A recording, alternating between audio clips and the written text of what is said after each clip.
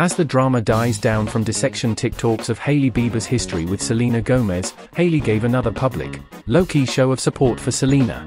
Hailey admired Selena's old Instagram post of her wearing a print bikini and platinum hair. Following their statements on Friday asking fans to stop harassing Hailey, both women now follow one another on Instagram. Selena's Instagram posts have previously received a few likes from Hailey, but this is the first time Hailey has liked a post directly on Selena's profile.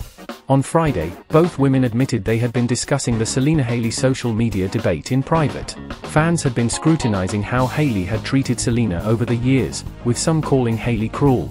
Selena's ex-boyfriend Justin Bieber, who she dated intermittently for eight years, is, of course, now married to Hailey.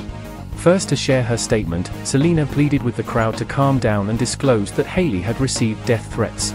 Hailey Bieber reached out to me and let me know that she has been receiving death threats and such hateful negativity, Selena shared. This isn't what I stand for. No one should have to experience hate or bullying. I've always advocated for kindness and really want this all to stop. Hailey followed up with her own remarks expressing her appreciation for Selena speaking out.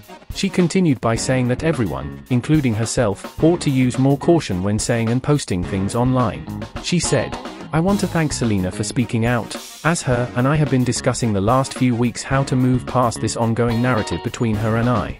The last few weeks have been very hard for everyone involved and millions of people are seeing so much hate around this, which is extremely harmful.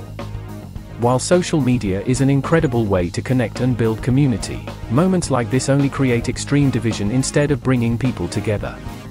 Things can always be taken out of context or construed differently than they were intended.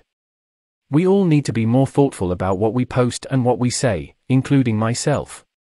In the end, I believe love will always be bigger than hate and negativity, and there is always an opportunity to meet each other with more empathy and compassion.